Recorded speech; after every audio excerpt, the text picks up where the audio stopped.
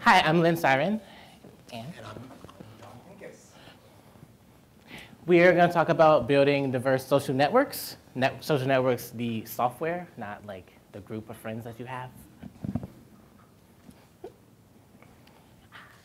Um, and for someone to define diversity, diversity, like this, I'm pretty sure Kronda already said this this morning, but diversity exists across a variety of dimensions.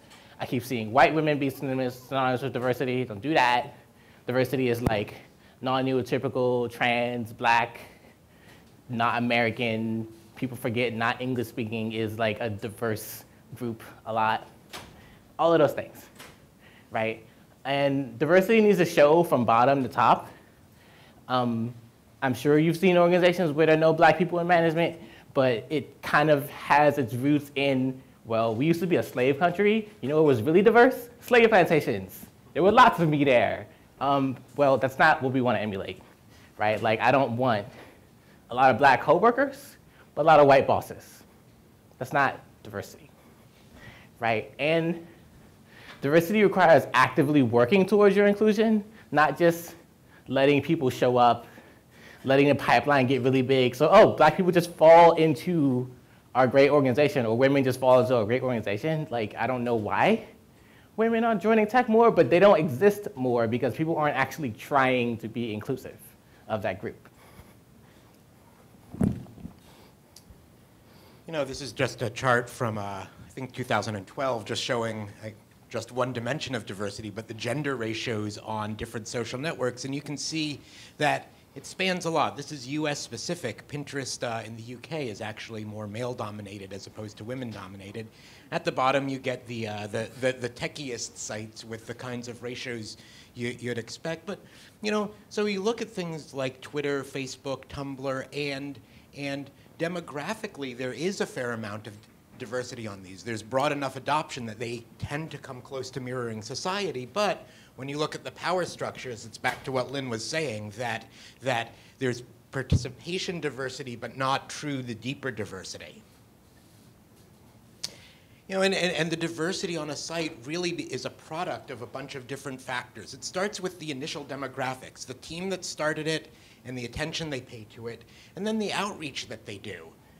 You know, if, if, if the initial team is a bunch of techie white guys and they ask their friends, well, now you've got a very intense skew, and over time, the skews just become harder and harder to overcome. Quora is a great example of a site that started by targeting the techie elites of Silicon Valley, and guess what? Five years later, it's still a site for the techie elites of Silicon Valley. Um, then you've got the power vectors. Who's making the decisions? Who's profiting? Uh, who's the influentials on the site? If that's not representative, then, then what you have is uh, you may draw in some diverse people, but they won't stay around. Then a, a subtle point, easy to overlook, is the biases that the software itself introduces. Yeah, and the last part is that outreach is really important. A lot of people, they talk about diversity and then they don't do outreach. They're like, I would like more these people, and then they don't follow these people, right? So shout out to all of the random tech CEOs that follow me on Twitter. I mostly post about like how gay I am, but still follow me, so good for them. Like, actually do that, right? Like if you can put up with me talking about like my cat ears all day, then like all of my friends are trans or black or like like really socialist, which is apparently like tech is really libertarian, I hear. So, you know, like I bring all of that with me if people like can stand and do the outreach.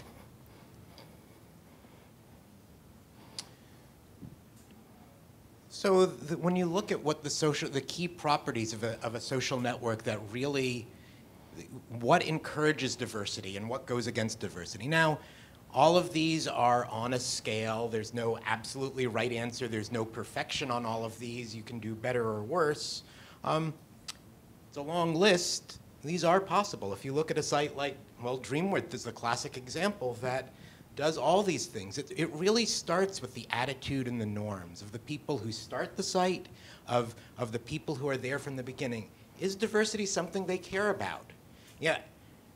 Again, going back to Kronda's keynote, is it something that people care about more than to just say, I care about, but to actually do something about it. If you look at the work that Dreamwidth put into, say, their diversity statement, which is very easy to find and everybody sees, calls out all these dimensions that Lynn was talking about, neurotypicals and not neurotypicals, all the different dimensions of diversity. And that's really central to the site's values, as opposed to, yeah, would like to be diverse, but, you know, whatever. The first step in, in going from this attitude to making things concrete is the community guidelines. Ada Initiative's done so much great work for community guidelines for conferences, it applies to uh, social networks as well, or really any online space as well. And so you see that some mailing lists, um, some online communities outside of the social network space have these strong guidelines and uh, you know, it's not enough to just have the guidelines. You've got to have meaningful processes behind these that that don't, uh, that don't, that don't, that, that make them real. Anything you want to say? Yeah, um, I, I, think you have to have, you have to actually enforce your guidelines, you have to not over-enforce your guidelines. I have a very specific thing that, ha that happens all the time on Facebook where all of my friends are trans, like 60% of all of my friends aren't using their real name. 60% of all my friends can have someone just drop in and like real name report them and Facebook will pick them up and take them away, right? Like you have to, if you're gonna have community guidelines, make sure they're actually enforced, but like don't pull a Facebook where everyone's constantly like, is Facebook gonna ban me for X, Y, and Z because every, all of my friends are doing this same thing?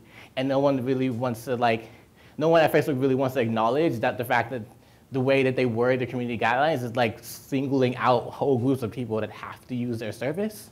Like if you work at Facebook, you should take this feedback, but most people don't have a product that everyone in the world feels like they have to use.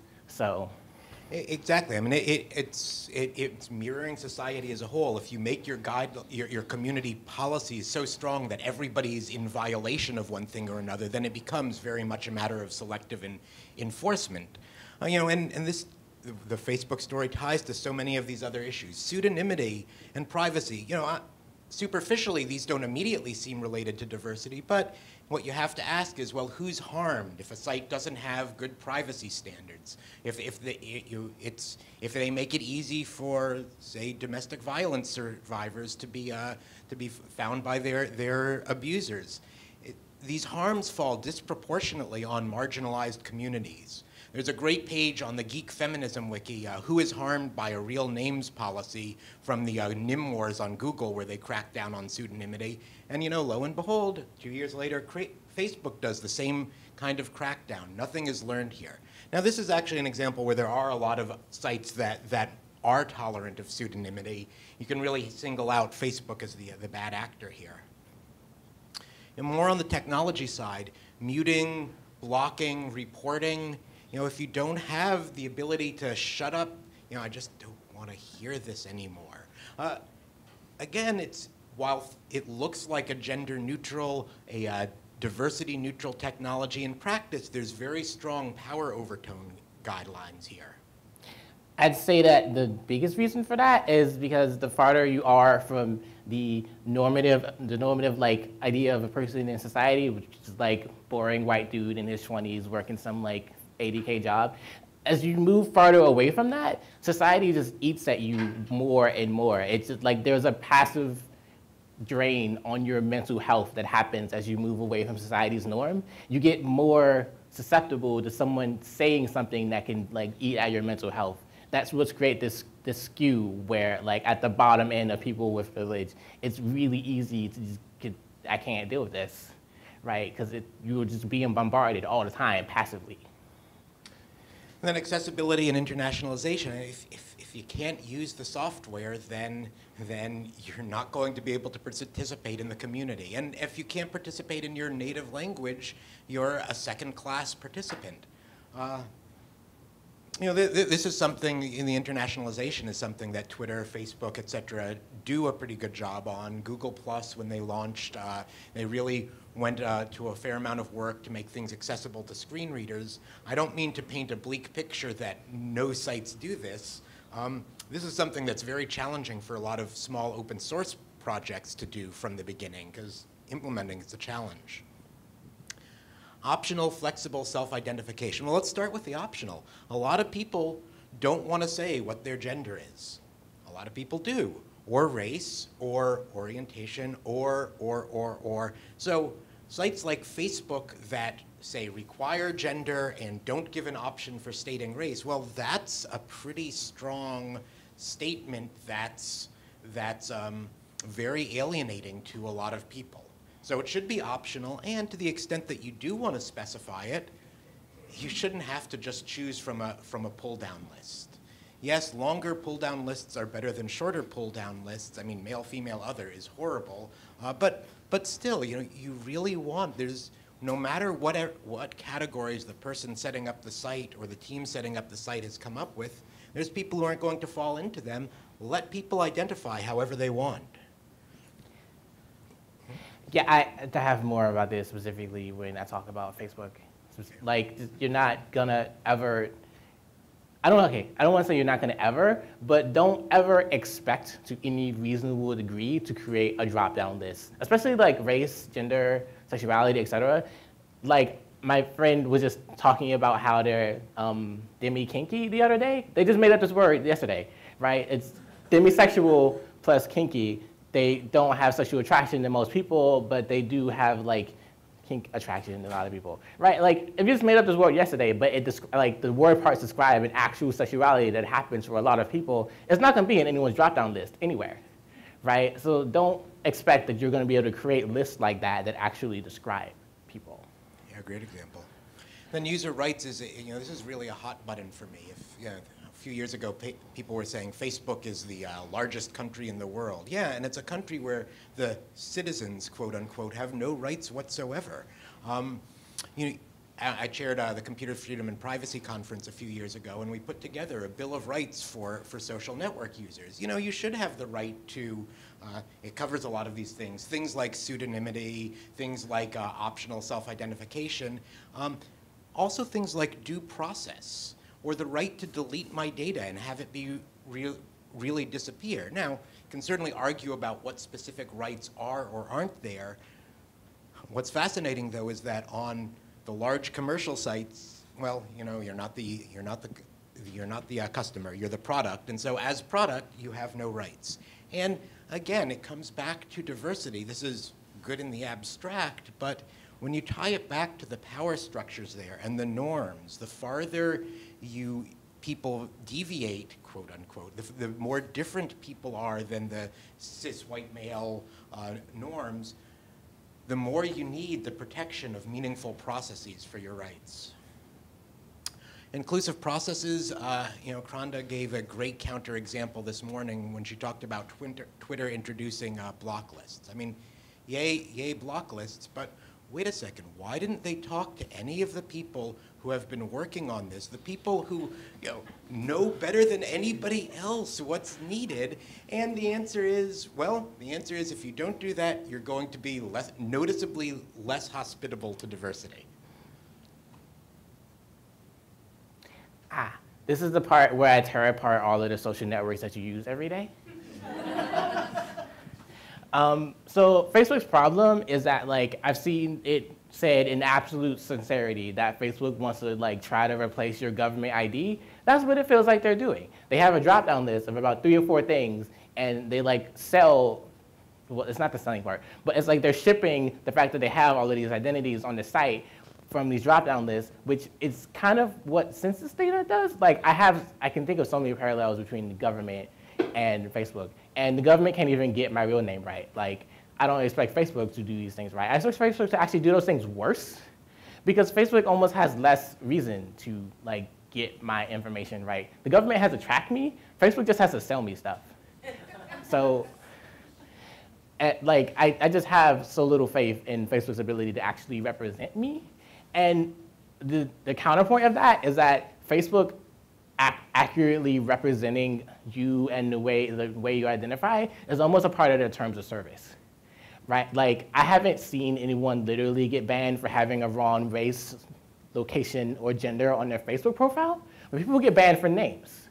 Right? And I just, I think that if people can, if you can get banned on Facebook for names, why aren't they also banning for gender? I feel like that's something that they would also do And I'm just glad that they actually have trans on there because I could imagine a world in which Facebook's like, actually, your legal gender is male, so you can't be on Facebook in this way. I can see it. Like, it's not something that you should ever try to do, ever. Don't try to like give drop downs, try to identify people and like make it a part of your terms of service almost that that people identify with these drop downs. It's honestly better when I can, like Twitter Analytics, for example. Twitter Analytics obviously is trying to gender your followers to sell things to people, like gendered products to people, right? That I can tell from the way it's set up that that's why it's there, right? And I almost respect that more than what Facebook does, where they're trying to like classify the entire world. And wrong too, like. Um, because of that first issue, like you, you get a lot of, like I all of my all of my friends like all of my really good marginalized friends on Facebook are all trans, right? Like a lot of us like post lewd selfies, or we like we do some other sort of thing that could all get all of us banned off Facebook all at once, right? Like there, this specifically happens on Facebook, and I can't think of smaller sites that do this. But if you, you can't, you re, I, like I've said this twice already, but you really can't create rules that a whole section of a community breaks unless you actually want them gone. And, and like, you know, I'd also add that another, another good example is Facebook's rules on breastfeeding pictures. I mean, talk about excluding a large community and selectively enforcing it, of course. I, I see that, and I'm just like, oh, okay, well then, Facebook doesn't want moms on Facebook. Like, that's the only logical conclusion I can see from a rule about that. Like,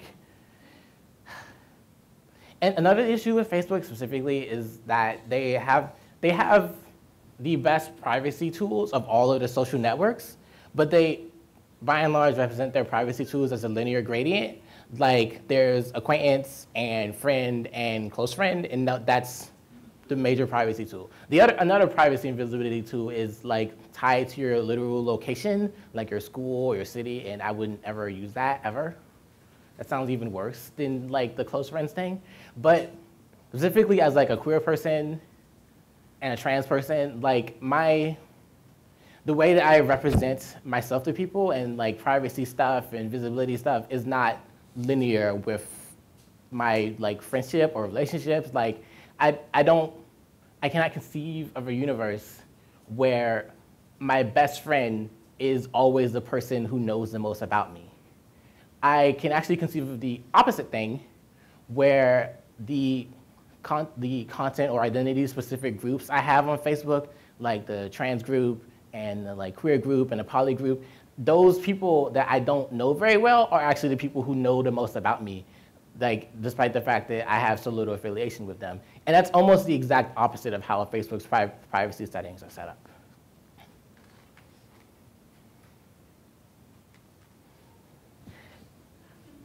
Twitter, Twitter, they just admit that they suck. I don't like. I can't. I mean, that's a quote from their CEO. It's like yeah. I don't even know how to drag Twitter. Twitter drags themselves. Oh.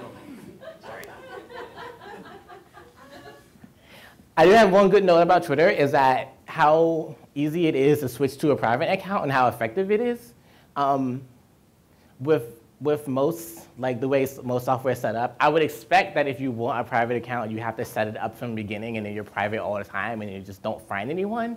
Um, but Twitter private accounts are really effective at like, hey, you're getting piled on, switch to private, and then people, you just don't approve any follow requests for like a month. And it, it tones down the noise really well. Um, and I wish I knew more things that had a setting like that. Like it's, it's very similar to the um, Opie Shields Up thing, in a way that like you can you can just hide with this one tool. And Tumblr, Tumblr is like my favorite thing. Honestly, my only criticism of Tumblr is that I feel like they have really poor priorities. Like every six months, I feel like their mobile site gets better, or like their mobile CSS gets better, and it gets really good. Like you'll see later that my Quirell that I'm working on, it looks like Tumblr basically, because I love Tumblr CSS. But like I feel like it took them what, like two, three years of people like complaining about blocking specifically for them to add blocking? Like how many, engineers you have at Tumblr it, it took you this long and you like update your CSS like every three weeks? I, again, you know, I, I, think, I, think this is a great point. It's like you see, you see these large sites, one after another, doesn't pay attention to the blocking and muting. It's like Google Plus launched without it.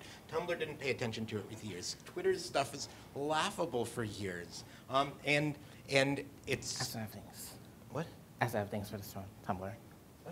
I still have my pro for Tumblr. That was actually my only criticism. Tumblr is like my favorite network in terms of diversity because I don't know, like I don't know if, I don't know. I am willing to bet that there is nothing about the specific technical structure of Tumblr that makes it so that it's the haven of like, of like really young, really liberal people who like explore like every, like, I feel like Miley Cyrus finding out that she's genderqueer, like, they're genderqueer. Why, how did, they? Anyway, finding out that they're genderqueer like had to have come from Tumblr. I don't see any other like massive website where that sort of thing is growing. Like every time I see people having conversations about on every single time I see people on Twitter having conversations about a specific term, a specific aspect of diversity and stuff that's really new and emerging, it's always come from Tumblr first, in my experience. Like that's always the breeding ground for different kinds of identity expression. It's also the first place in basically the only place I see like coherently a lot of people having pronouns on their bio, a lot of people being like, hey, I'm cis and these things, right? Like, only place I see that. And um, another cool thing about Tumblr is it's the like XKit being so popular makes tum Tumblr a site that basically has content. People tagging so much and XKit being so popular make Tumblr a site that's really good for content warnings. And like the only things I'm gonna talk about about, about right now are like post blocking and content warning blocking, um, which is, XKit is a Tumblr extension, mind you. And post blocking on XKit is like, I just don't wanna see this really huge post about like, like the Charleston shooting that everyone is reblogging all the time, all the time. All right, I know about Charleston shooting, I did my advocacy, I don't wanna see it anymore. It's reasonable. I don't see that as a feature on any other sites, but it's like widely known to be used on my Tumblr circles, right? Or I really don't want to see anything about like, like I as a black person don't want to see anything about racism for like a week. I've done that, right? Like whenever, when I've had my feel of like learning how racist white people are in my country, I'll just block racism for a little bit. And I know all of my friends tag racism because they're really good at that. That's the culture on Tumblr to like be really mindful about tagging things that like could offend people. And like obviously it goes all the way over here where like people are like always tagging like specific foods when they eat them. And I'm like, okay. But by and large, it's a really useful thing on Tumblr that like a lot of sites could choose to have. And there was actually, I believe there was a conversation recently about trigger warnings and the type of things that black activists post on Twitter. And I'm like, yeah, if these same black activists were on Tumblr, they would be getting told constantly that they need a trigger warning racism, all of their stuff, and I would block it so I don't have to deal with it. But Tumblr is the only environment where that actually comes to like fruition. Oh, and yeah, and we can go on and we can critique all these other other sites. It's like it's it's too depressing. Um, you know, there's commonalities between all of them. Oh, yeah. Um, so basically, all, every site on the internet has a specific content filter for sex, specifically, because like, like boring rich people, like they only understand sex as the only content filtering commonality that people have. That's all that they know that a lot of people want to block, right? And I'm like, I would, I would much rather these people like have content blockings for like extreme racism or content blocking for like extreme homophobia or like ableism or stuff like that. But sex is the only thing that they know how to block, and they don't give you the choice in blocking it. They'll just wipe all sexual content from their site, or they'll make it like unsearchable, or you have to have your entire account private if you want to have this thing, right? Like they're they could extend these things other to other like to other like aspects of things that can make people uncomfortable, but it's always sex and it's really frustrating and there's no choice. And it, it, ties back to your point before that, that they just ban it as opposed to giving people the tools to protect themselves from, from what's, what, what's going on out there. right? And the fact that they just ban it and don't think about the fact that it could be a choice, it, it's what makes it so that there's no conversation about extending that to content warnings, right? Like, I am totally all for people like tagging sexual stuff, but like, I'm also for people tagging the other range of stuff, like all of the other things, the things that could be oppressive and could trigger me and all of those things. But I feel like people never put those two together. They're like, yeah, I don't want to see sex, but I'm like, I also don't want to see you talking about like the like hundred thousand dollar loan you just got. Like these two things are equivalent in my mind. Um, another thing that I see happen a lot, I see this specific thing happen maybe once every three months. Um, two different communities, like, and I'm not, and I'm not talking about communities where one person is, one side is clearly in the wrong. Um, I'm talking about communities where there's just a, a strong ideological difference that they usually have to work out. I see this with different subsets of trans people. I see this with di different subsets of liberalism, like socialists versus something, or binary trans feminine people versus something, um, where there's a, there's a dispute that is inherent to the two types of communities that are coming up against each other. And at some point, someone goes too far, but at that point, probably two or three other people have gone too far. But Twitter, Facebook, Tumblr, et cetera, will pick one person out of that group that they feel like has just done way too much and pull them out, and that completely changes the tone of the discussion. And that's not, it like, if you, if you don't think about it too hard, you're like, oh yeah, they shouldn't have told the other person that they were gonna send all of these. No, they shouldn't have said that one thing right? But it's ignoring the greater content of the discussion and it ruins discussions a lot of times because then the discussion becomes, oh, well, this person is being oppressed by the institution of or the, the site that they're on and their, their organization and not the actual merits of the conversation, right? And it's honestly not that this one person is wrong. It's more like there's a really huge rift in the community that could stand to be soothed a little bit. And honestly, the only tools that I see to working on this are things like Gamergate Auto Blocker, where it's just like this whole group of people. I don't want to listen to them. Don't want to listen to them. And so there's there's not there's not that argument happening if all of your friends are all using Gamergate Auto Blocker and there's no Gamergate people to come up into your mentions for you to argue with. There's less arguing total as a whole, right? And I'm working on the Blockbot, which is currently like a specific tool for a specific type of people. But, the, but um, in the next month or two, I'm going to change it so that it's for specific groups.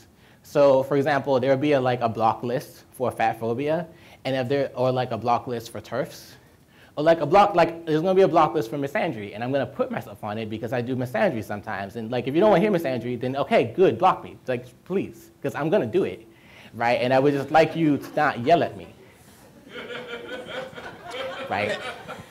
Then the last point here, you know, the, the last point, we, we, we debated about even putting this on the slide because it's just so obvious, but it, but it doesn't get said enough. It's like if you look at, at these, these large commercial social network sites, who, who's in charge and then, then who's getting the wealth that's created? Puzzle Hunt is like a current hot, I'm sorry, a Product Hunt is a uh, current hot button for me that, you know, it's, it's to see the, the hot new products in Silicon Valley and, and it's you know, 90% guys, overwhelmingly white. Um, you know, just got $6.1 million of funding from a bunch of uh, white VCs who primarily invest in uh, guy companies. And, and where's the wealth that's getting created going from all these?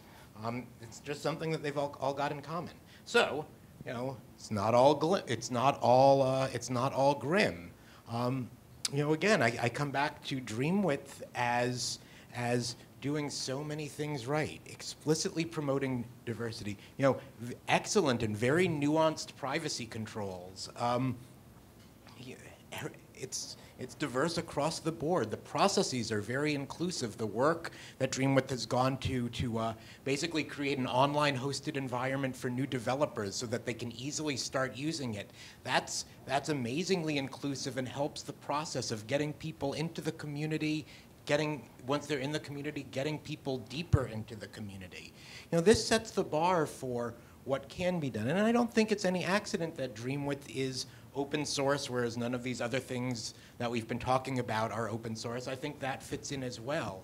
Um, you know, it's, it's putting on an economic hat. Wow, there's an interesting market failure here. It's like Dreamwidth shows that it's possible. Tumblr shows how much a of a desire that people have for these kinds of communities where, where there is more, more diversity, more ability to be yourself, and, and why isn't any large venture-funded company making a run at it? Well, it's the obvious reasons, but, but still, I think it really shows we can do better, and, and people want to do better.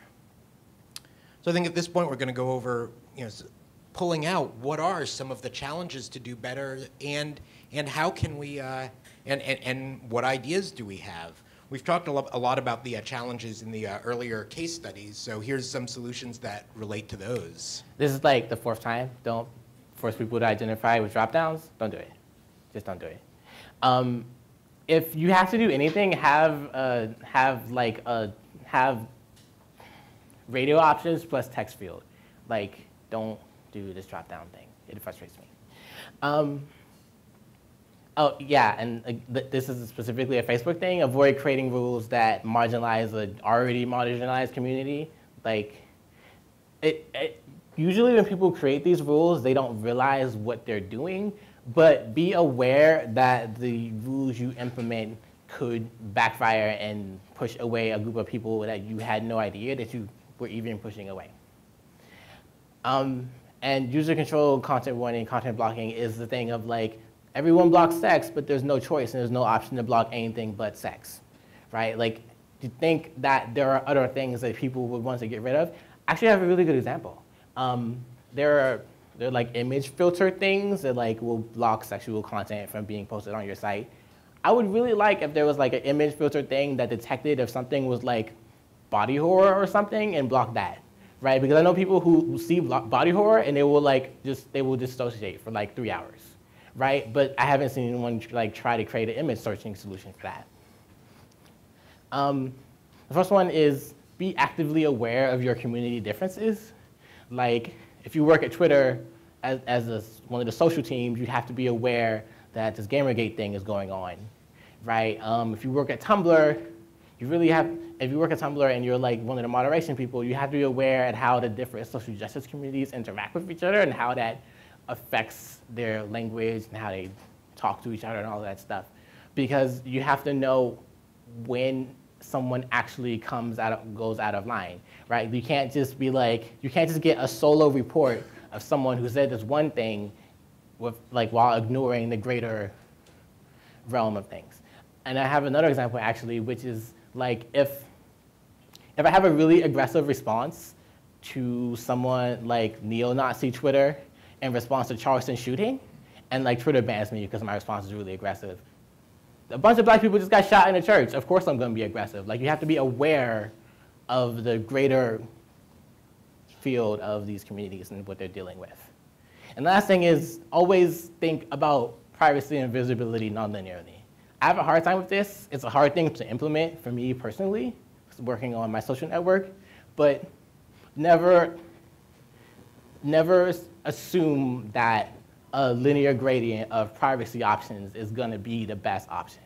Like, it's usually the easiest option, but never assume it's the best option because a lot of people have like best friends that they can't tell this one thing, and if the, uh, the network doesn't allow for that, then they just won't talk about it. It just won't be a thing that they can express, and they can't be themselves in that particular way. And then, then some more challenges and possible solutions. One of the things I've discovered uh, doing, uh, trying to work on a social network is people want a lot of functionality. Um, you know, if I want, I want journaling, I want communities, I also want status updates, and I want to share photos, and I want to I want collaborative editing, and and um, and, you, and I want chat, and the list goes on. And wow, that's that's a real challenge. So, can we can we improve things by federating different services that provide some of these things, or at the, at, at the very least, cooperation between the services. You know, Dreamwidth federates with a live journal. It's one of the few examples out there where there's actually some kind of federation going on. Are there more of these things we can do? Um, and people aren't, most people I talk to aren't willing to fully get off Facebook because they've got relatives there, because they've got school friends there. There, there are some people, but, but a lot of people want to keep a toehold there. And so, so you need to coexist with that in some sense. IndieWeb has some very interesting ideas here. Basically, at least for public posts, being able to syndicate them out from your site or social network to Facebook, Twitter, et cetera, and even being able to bring responses back. So I think there's something to learn there. there are some good WordPress plugins for that, that provide this as well a lot of the existing open source infrastructure has usability issues or is limited with accessibility or internationalization or questionable security. So that means that if you, if you want to just sort of set something up uh, from scratch, your choices at this point are BuddyPress. Um, Denise, is there anybody running their own instance of Dreamwidth code? Uh-huh. Okay, so so the, the, there's there's a few examples out here. Both of these are, are old, you know, relatively old code bases that have been, have been brought forward over time. You know, does it make sense to think about developing a new platform? Things that would have, you know, designed from the beginning by a team that values diversity, trying to design in, oh, what does it look like if we've got good muting and blocking from the beginning? What does it look like if we've got content warnings and the ability to filter them from the beginning? Um, I think there's a lot of possibilities there. And then, there, then of course, there's the, the, the economics. Um, you know, if, if, if you do something that reinforces oppression, you can get millions of dollars funding dumped on you. If you're doing something that tries to counter that, well, you can't. And yet, and yet, there's a lot of people out there who value stuff like this. And it's not only people who explicitly value diversity that, um, that will look to a diverse platform. Is it possible to have the same kind of ecosystem approach that WordPress has used so successfully? Is it possible to build a similar ecosystem on top of, on top of a, a new diverse platform? Uh, I say that because, yes, I think it is. I think that's an interesting path to go down. And I think if we can do that, then you can possibly create enough of a virtuous cycle that you've got people working on this who will take things forward. Uh, before we go on to the wrap up, Denise, is, is, there anything? I mean, you know this stuff better than anybody else. Is there anything? Is there anything else you'd add about like key solutions or problems?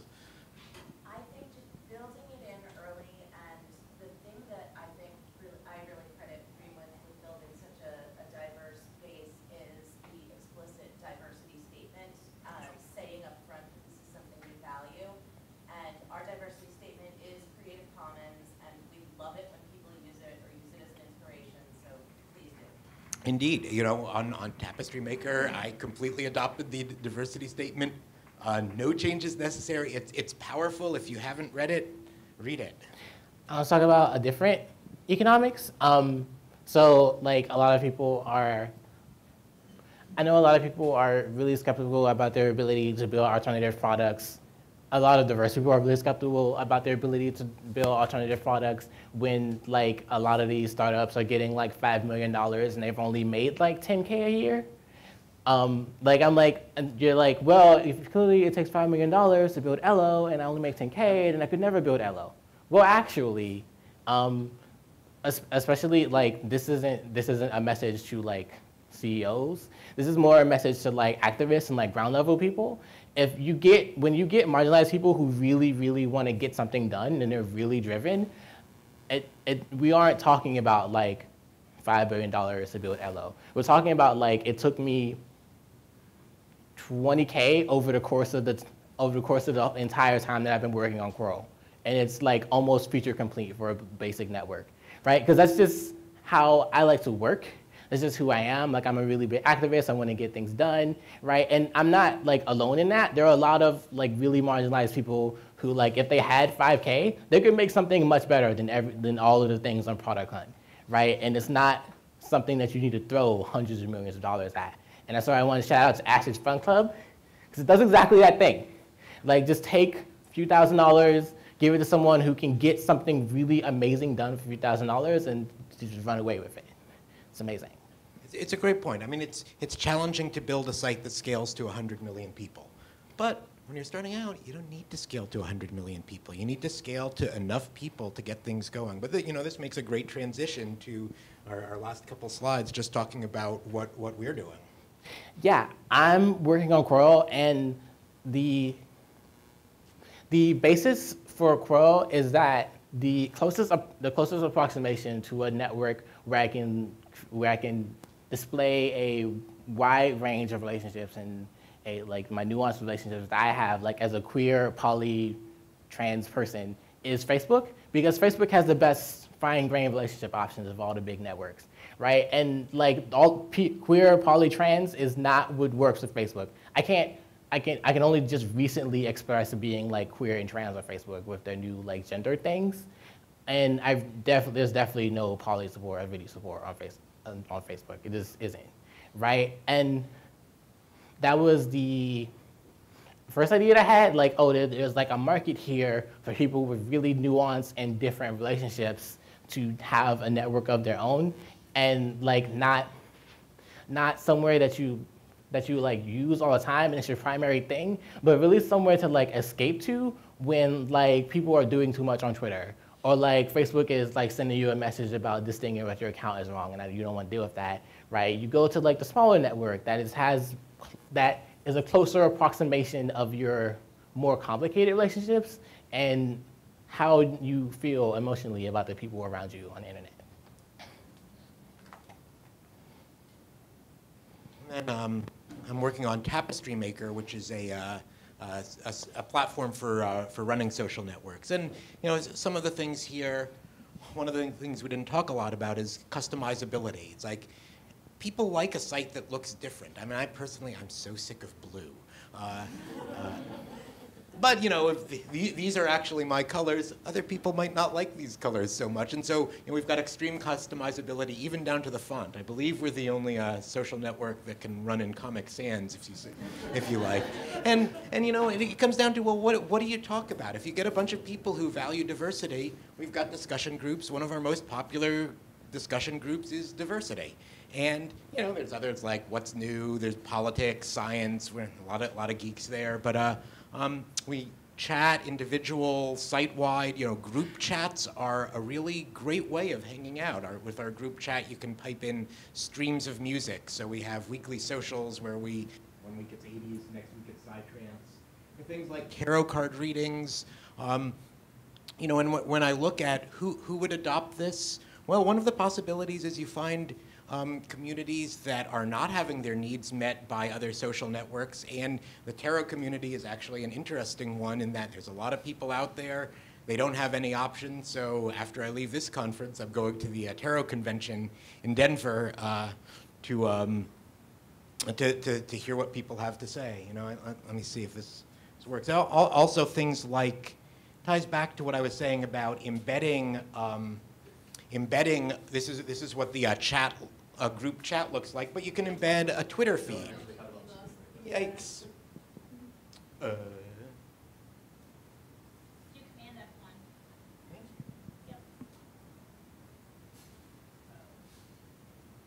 Save.